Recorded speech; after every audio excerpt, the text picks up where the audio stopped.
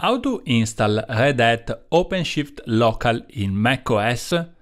Red Hat OpenShift Local, formerly Code Ready Containers, is a convenient way to have uh, one OpenShift Kubernetes in your laptop, and this is uh, super easy to install. Are you curious? I'm Luca Berton, and welcome in today's episode of Ansible Pilot. OpenShift Local is designed for local development and testing on an OpenShift 4 cluster, so not for production. The OpenShift Local require at least uh, 4 virtual CPUs, 8 GB of RAM and 35 GB of storage, so pretty affordable for a notebook nowadays. Now, let's jump directly in how to install the Red Hat OpenShift Local in macOS. Let's begin our adventure jumping on uh, our favorite browser and search for OpenShift Local on the search engine. You can search, use your favorite one and this will uh, direct you to the development Red.com website there is a specific page for this product and probably uh, there are some reference that was called Red Hat Code Ready Containers. There are a few information, also some blog post how to set up everything. So basically is a full OpenShift cluster that run inside a virtual machine. It requires you a Red Hat uh, account you can create for free, nothing nothing to worry about and this is a great way to experiment directly in uh, your system. In my case, I'm using the local, but there are other way of testing OpenShift the cloud, install on your data center or uh, local one. Uh, there are a huge variety of operating system. In my case, I have the um, MacBook with M1, so let me download the ARM64 version. That is called Arch64, is the same stuff, and also let me save it the uh, secret. You can save it online, so just for uh, copy and paste from a TXT document, or you can copy directly on the browser. Now we need only to wait for the download to proceed, and at the end of this, we are going to install the software. This is only 200 megabyte, 200, 300 megabyte, so not a big deal. And actually you are downloading the CRC um, utility that uh, download the full image of OpenShift. The download speed is affected by the performance of your network and also the performance of your system. Meanwhile, you can take a look on the website. I really recommend you to open the documentation that is pretty exhaustive about this product. So this redirect you to the official product documentation and with a getting started guide. This is a pretty wide document, but uh, there are some interesting things on the installation part that clarify what are the minimum requirement, the hardware requirement, and how to move forward on the next steps. As you can see, the newest MacBook with M1 are fully supported M1, M2, whatever, uh, M1 Pro, M1 Max, uh, there are a lot of things. At the end, uh, you got finally this uh, install setup. This is a standard Mac Macintosh installer, so it requires you to insert the user password because you need uh, uh, some privilege to install the software. Okay, at the end of the day, you got the utility installed. So basically, you are installing the utility that uh, is going to download all the necessary file of the OpenShift local. Now you can move to bin and move forward for the next step. Next step will be using a terminal, so let's jump in the terminal. Welcome on my Macintosh terminal. After the install, we have this utility that is called CRC. As you can see, this is a tool that manages local OpenShift cluster. So uh, let me take a look. There are a lot of parameters. Uh, the version give you an overview about the latest OpenShift version 4.11.3 and Podman 4.2.0. Um, as you can see, the utility uh, have a lot of options. The one that is more popular is status, but check it out, that machine is not running, and they say that uh, with CRC start you can start it out. Well, we don't have this uh, file that is uh, actually the one uh, that uh, of a virtual machine, so we need to download and set it up with CRC down setup. Is asking if we would like to share some anonymous statistics of usage, and I accept it. I think it's a good idea to share with developers. And now the actual download began. This is a bundle file that is pretty huge, as you can see, 3 gigabyte of data. So we need to wait to download, actually this is the real image. It's a virtual machine that runs inside your notebook and has a full Red Hat OpenShift local. This step is going to take a while, it depends by the performance of your network uh, and basically download the bundle and expand it on disk.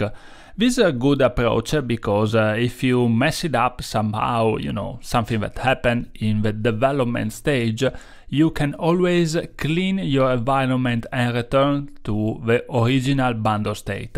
So this is a pretty convenient way. Thank you Red for uh, do some experimentation and also some development of code.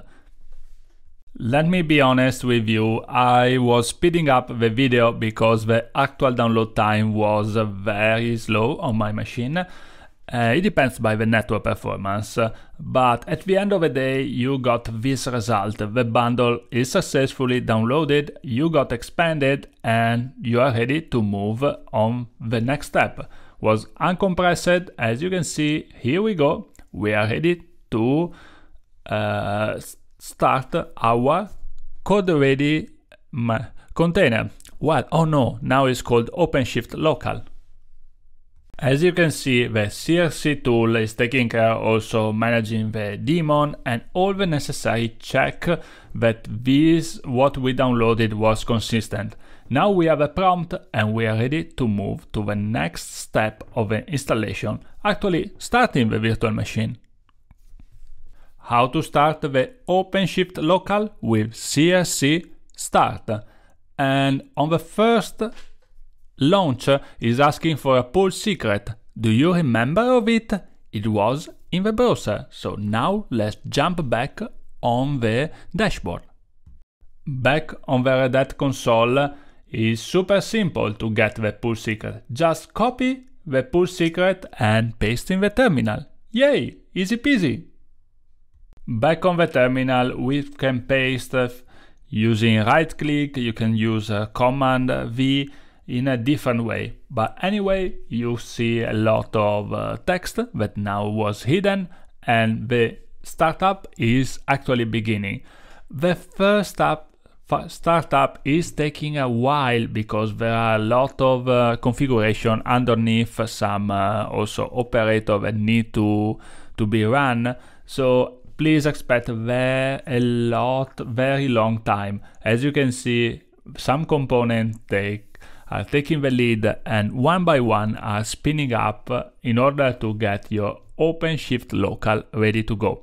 But basically you don't need to do anything, just wait till uh, the CRC command return you the credential, the username and password to connect to the cluster. So just wait and a lot of text will appear on your screen. Again, I would like to be honest with you, I speed up a little bit this part of the video because uh, really it took a while also on my latest MacBook. So now the certification authority was set up in place and some operators were progressing.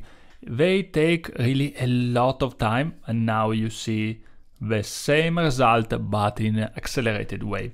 At the end of the day, you got uh, two username, one kubeadmin that is uh, the full user and one developer.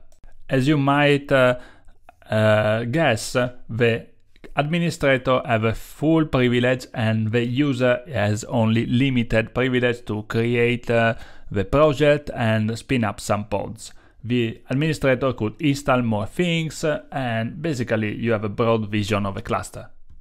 This is a great success because right now the OpenShift local is actually running and we can uh, interact with with that using the command line interface or the web interface. As you can see, let's start up with the command line. So let me copy this uh, environment.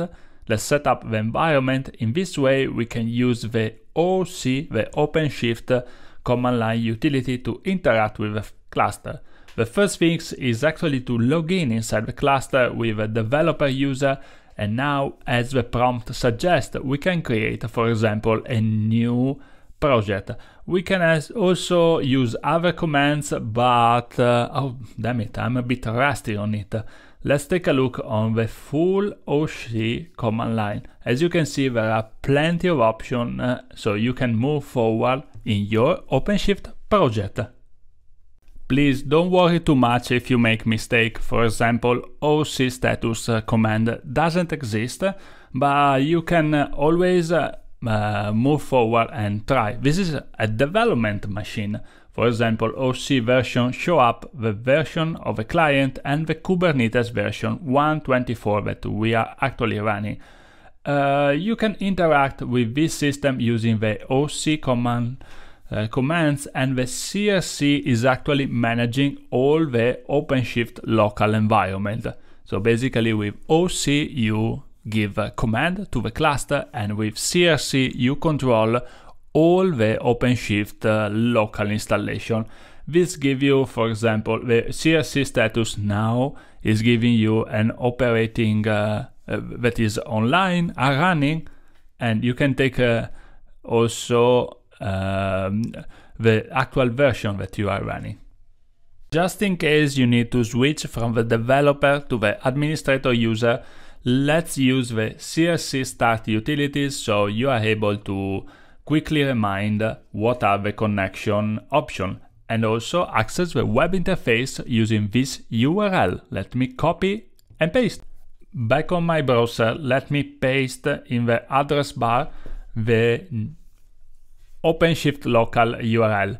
This is a self-signed certificate, so you need to uh, authorize the private connection and Chrome is uh, uh, is saying to me that uh, this URL might be not trustful, but I trust of it because it's a local one and as you can see is showing up username and password. You can use the same one in from the console, for example developer as a developer password and you are able to actually connect to the cluster. Now you are this is the full dashboard. As you can see, it's the first time I'm connecting, so there is also a get started guided space that show up the perspective switcher that gives you uh, some uh, more idea how your cluster is made and the user preferences as well. As you can see, the easier way is also to take a look of all the running project. There is none at the moment, but uh, the sooner you move forward with the automation, you probably add more.